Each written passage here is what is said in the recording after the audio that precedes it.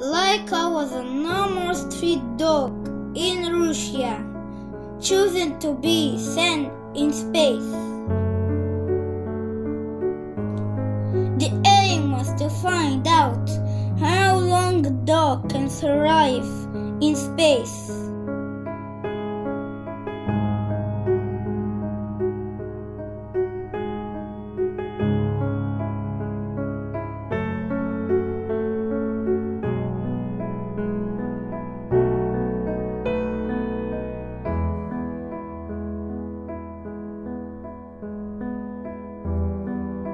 On 3 November 1957.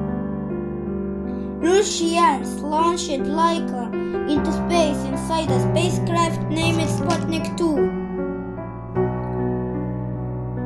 It was a one way ticket for Laika. Because there was no way to bring her back to Earth.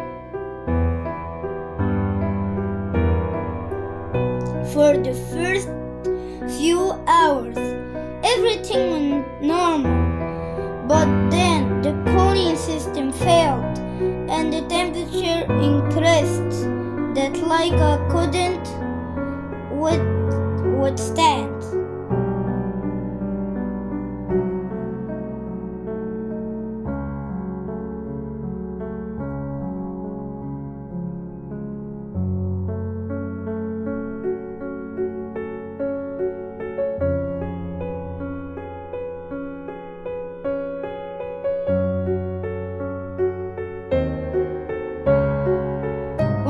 One hundred sixty-two days after launch, Sputnik 2 re- re-entered the Earth's atmosphere and burned up in re-entry alone with the remains of Laika.